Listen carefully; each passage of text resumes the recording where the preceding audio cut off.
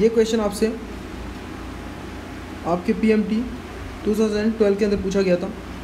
आपसे पूछा गया है which the following is a correct statement for respiration in humans यहाँ पर आपका एक स्टेटमेंट दिया हुआ है। Neuro signals from pneumotaxic centre in pons region of brain can increase the duration of respiration basically pneumotaxic centre जैसी कोई चीज़ नहीं होती। ये होता है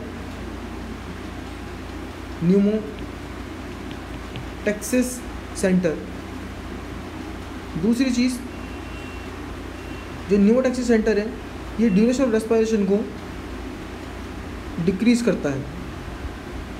ये ऑप्शन आपका गलत हो गया। इसके बाद में दिया हुआ है सिगरेट स्मोकिंग में lead to the inflammation of bronchi basically जो सिगरेट स्मोकिंग है, ये आपकी एल्व्यूलाई को डिस्ट्रॉय करती है, न कि ब्रोंकाई को। ये स्टेटमेंट भी गलत हो गया। एक स्टेटमेंट आपका नेक्स्ट दिया हुआ है about ninety percent of carbon dioxide is carried by haemoglobin as carbamino carbamino haemoglobin की फॉर्म में ही हमारी बॉडी में इतनी ज़्यादा कार्बन डाइऑक्साइड कैरी नहीं की जाती है। आर कार्बोमिनो हीमोग्लोबिन की फॉर्म में R B Cs C O two carry करते हैं। आर बी सी जो सी ओ टू है, वो है twenty two twenty five percent of total C O two का कंसनट्रेशन कैरी करने का। तो नाइन्टी परसेंट भी गलत हो गया।